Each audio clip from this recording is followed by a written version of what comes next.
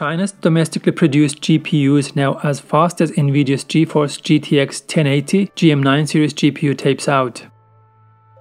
China has taped out its first domestically produced GPU, which is as faster than Nvidia GeForce GTX 1080 and AMD Radeon RX Vega 64 graphics cards. The GPU, which falls under the JM9 series, has been produced by the Chinese firm Jingjia Micro's JM9 series GPU tapes out. The Jingjia Micro JM9 series GPUs have two chips, an entry-level version known as JM9231 which would offer performance levels similar to the Nvidia GeForce GTX 1050 graphics card and a higher-end JM9271 which would offer the performance level of a GeForce GTX 1080 graphics card.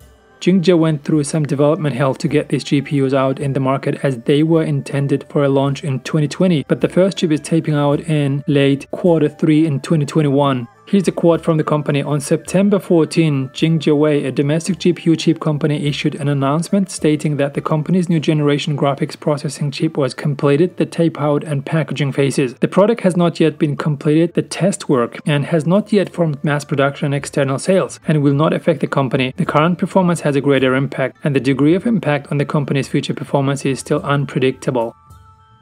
Based on the new statement from the manufacturer, it looks like while Jingjia Micro taped out its very first JM9 series GPU, it is still far from launching an actual product since the firm has not yet completed the test work and has not planned out mass production or external sales. So we're looking at least one year before we can see this product in action in the retail segment. It is still one big achievement for the Chinese domestic GPU market, which is on par with high-end GPUs that are two generations old.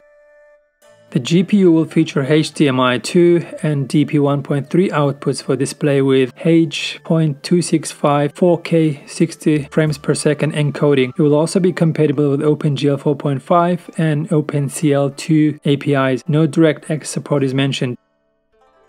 While Jingjia Micro will not compete in terms of efficiency, having these GPUs being produced domestically will help the company offer attractive prices for their products against Nvidia and AMD's lineup. We can expect more details such as performance and power numbers coming shortly. China is also working on its own HPC GPUs which will compete in the data center and cloud computing segment.